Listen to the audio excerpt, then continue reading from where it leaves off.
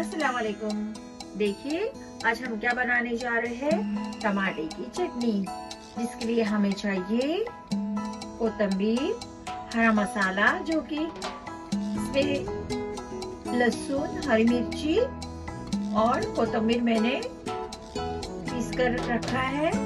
हल्दी, ये है टमाटो, तीन टमाटे हैं, मीडियम काट कर रखा है और प्याज भी मीडियम काट कर मैंने दो रखा है। और ये है कड़ी पत्ता, ठीक है? और हरा मसाला है। कोई कोई लाल मसाले में बनाते हैं, लेकिन हम हरे मसाले में बनाएँगे। और लाल मसाले में भी टमाटो की चटनी बनाते हैं, लेकिन हरे मसाले की ज़्यादा टेस्टी लगती है। आप ज़रूर बनाइए। चलो, हम चलते हैं बनाने की तरफ़। देखिए मैं कैसे बनाती हूँ। टमाटे की चटनी में हम दो चमचे ऑयल डालेंगे।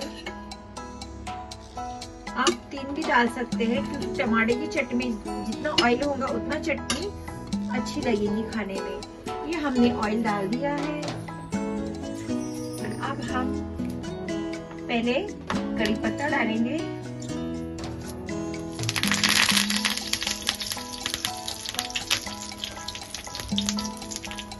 इसके बाद हम प्याज डालेंगे।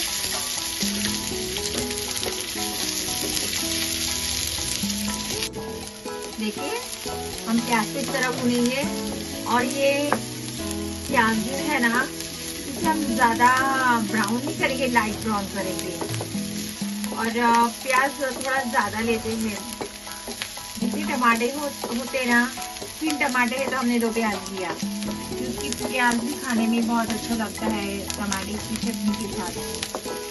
देखिए। अगर आप प्याज कम डालना चाहते हैं तो डाल सकते हैं। लेकिन आप प्याज थोड़ा ज़्यादा डालेंगे ना टमाटर की चटनी में, और भी बहुत अच्छी टेस्टी लगती है। इसका टेस्ट बहुत अच्छा आता है प्याज की वजह से। ये देखिए ब्राउन हो रही है। अब ब्राउन हो रही है ना, इसी वक्त हम मसाला डालेंगे, हरा मसाला और हल्दी।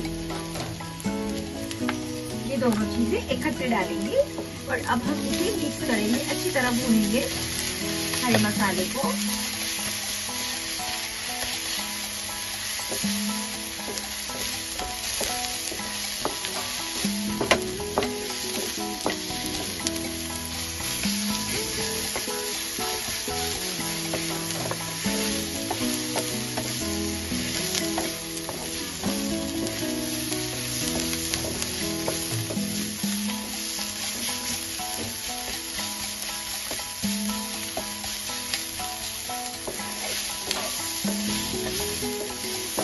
मसाला ब्राउन हो गया है।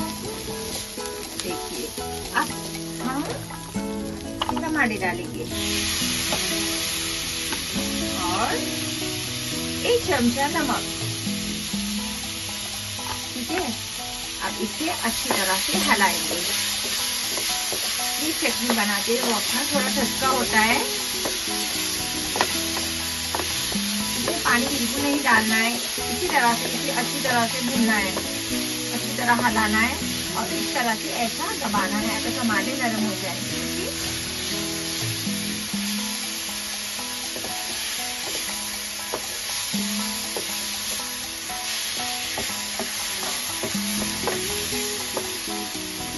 और फ्लेम को थोड़ा कम रखे और अब हम इसे पाँच मिनट के लिए ढक कर रख देंगे, ठीक है?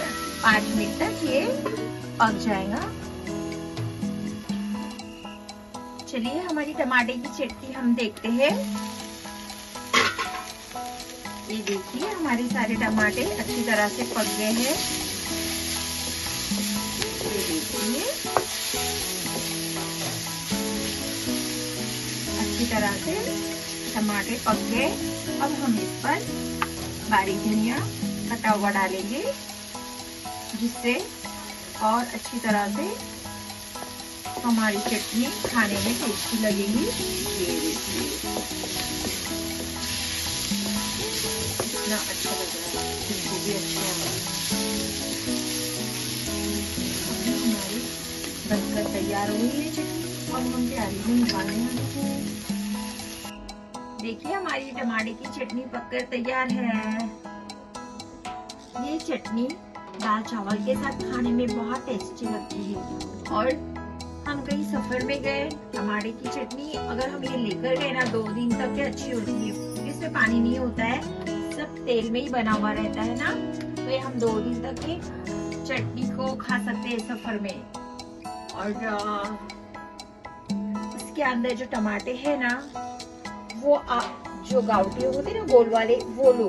वो बहुत अच्छे लगते हैं खट्टे खट्टे लगते हैं खाने में तो बहुत अच्छा टेस्ट आता है उस गाउटी टमाटर का। ठीक है? और हमेशा है ना, जब भी चटनी बनाए ना तो कोशिश कीजिए कि पानी कम डाले, क्योंकि बिना पानी की जो चटनी होती है ना, जैसे कि ऑयल ज़्यादा हो ना तो चटनी खाने में बहुत अच्छी लगती है। तो हमारी चटनी पककर तैयार है। अब हम खाने के लिए जा रहे हैं। देखिए तो चलो, बिस्मिल्लाह करेंगे। तो चलो, बिस्मिल्लाह करते हैं।